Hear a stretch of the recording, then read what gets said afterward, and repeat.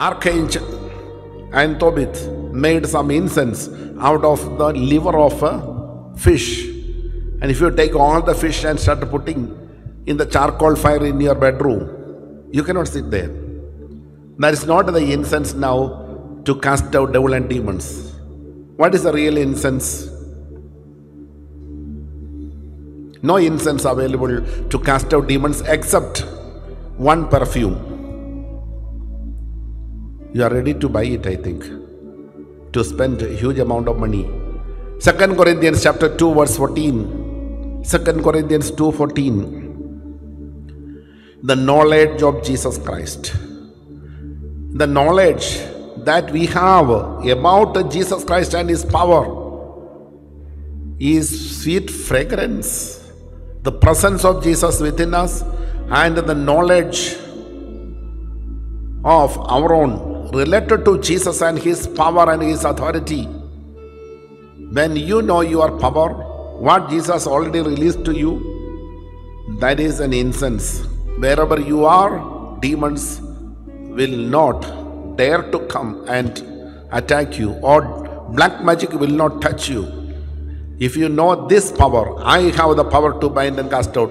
If not, you will move from pillar to post and being helpless. But today's promise word give you a wonderful power released. It's already. But if anybody unaware of this power, please come to the knowledge of this power. That is the incense. You can do it. That is the incense. You can do it. One young businessman, always going down. Once upon a time, it, it was a good business, and all people marveled of his ability. He turned like an epitome of success. Such kind of man suddenly collapsed because out of jealousy, somebody sent a spirit of poverty upon him. Whatever decision he takes, plop. And in his dream, three black serpents appears. In his dream, and sometime physically, these three black snakes followed him. Only he could see, others could not. One day he went for a business trip in New York. He checked in Marriott Hotel. He looked out. These three are serpents he saw at the courtyard. Without visa, without ticket, they also reached. His business deal collapsed. It was it was turned like a plop. He could not take a proper decision at the right time. He lost the business. He came for the retreat. That time, the retreat that I preached in Elavur, Chennai. He said, uh, This is my problem. Where is the serpents? Here also it has come, Father. Without train ticket, it has come. Where is it? You come along with me. He took me to the terrace of the retreat center. Look at the field. Three serpents facing each other and discussing something. I also saw that.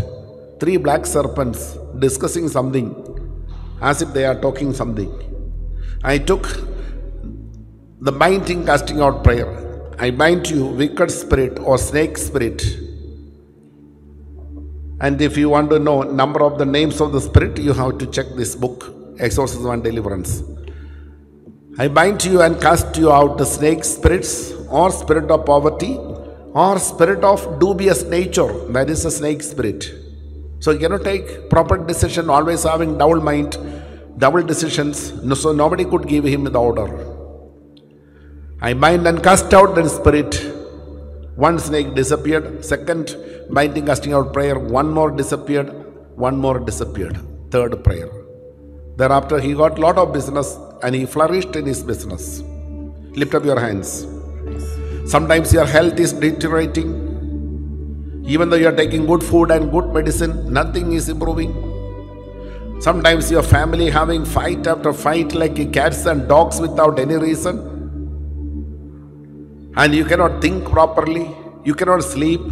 Suddenly you have a jerk in the night, and out of shock you are getting up. Your sleep is gone. If your sleep is gone, all your all diseases will appear one day or other in your body because there is no rest. Even your sleeping time, your leg is moving up and down. Restless leg syndrome being appeared, severe headache. Don't take any chance.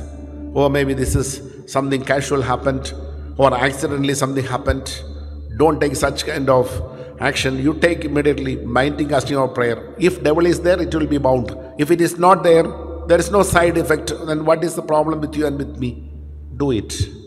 Then after that, please pray one chaplet.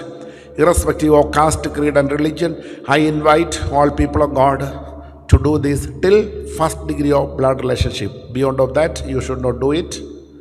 If you are also binding and casting out prayer, all the exorcists in this world will be jobless. So that belongs to the exorcist.